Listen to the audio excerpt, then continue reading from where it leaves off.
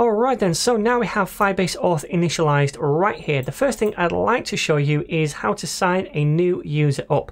Now to get us started, I've already created an HTML form down here. First of all, we have an H2, which says Firebase Auth. Then we have this form with the class of signup. Now we have a label for the email, and the name of that input right here is email as well. And we also have a label for password, and the name of that input is password. And we have a button to submit the form.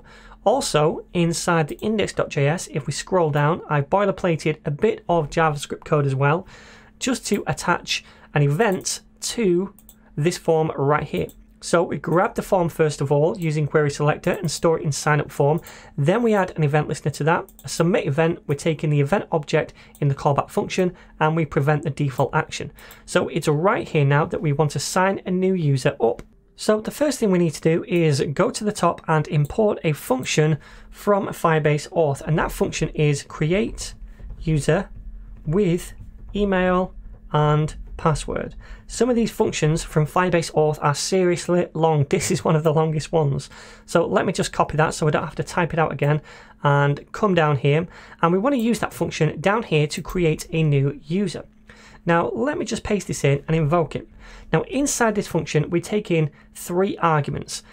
First of all, we pass in the auth object. Remember, when we initialized the auth service, we stored that inside this auth constant. So we're passing that in right here. The second and third arguments are the email and the password, because remember, we're signing up with email and password. So we need to grab the email and password from these two form fields this one with the name of email and this one with the name of password. So let's do that first of all. I'm going to create two constants. Const for the email, and we set that equal to sign up form, which is our sign up form.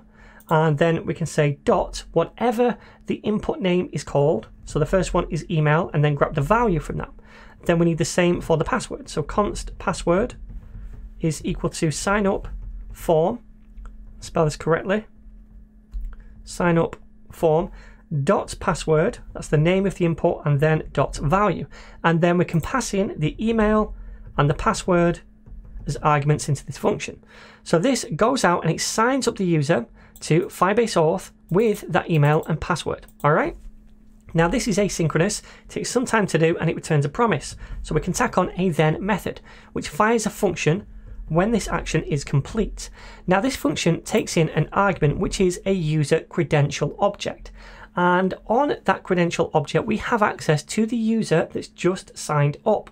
So what I'm going to do is log that to the console, console.log credential.user. So we use the user property on the credential to get access to that user, right? Now also before that, I'll output a string and that string is going to say user created like so, and then colon. Alright, so I also want to reset the form after that. So we'll say sign up form. Let me copy it from here, paste it down here, dot reset like so, and invoke it. Now also we can attach a catch block as well to fire a function if there's some kind of error. So let's do that.